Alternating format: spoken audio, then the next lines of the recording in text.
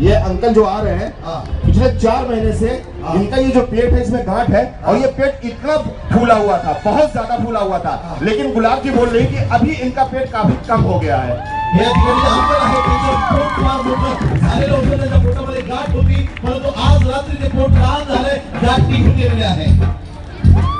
इनका भी पीछे दो तारीख को एक्सीडेंट हुआ था हाँ। उसके बाद इनकी एक गांठ थी यहाँ पे एक्सीडेंट के हाँ, हाँ। बाद लेकिन बोल नहीं वो आज गांठ गायब होगी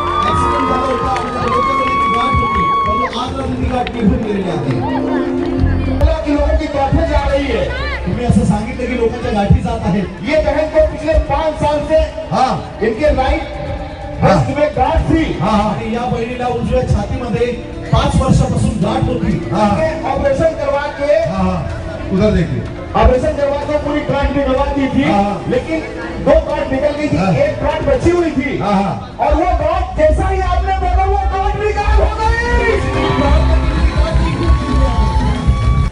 पास्टर ये अभी तक प्रभु के नशे में झूम रही है।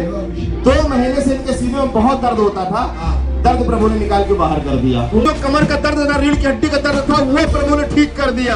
पाठीमध्ये एक वर्षापासून त्रास होता परंतु आज रात्री त्यांना पूर्ण येशूने बरं केलेलं आहे।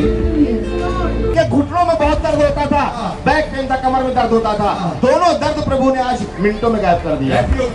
गेल्या सहा महिन्यापासून आणि पाठीमध्ये दोन आज ऐसा था कि आँखों के कैटरेक्ट प्रभु गायब कर रहा है। ये बहन जी को पिछले एक साल से ना के बराबर बहुत कम दिखाई देता है।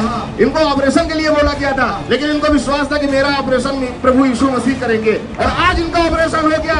इनकी आँखें प्रभु ने ठीक कर दिया।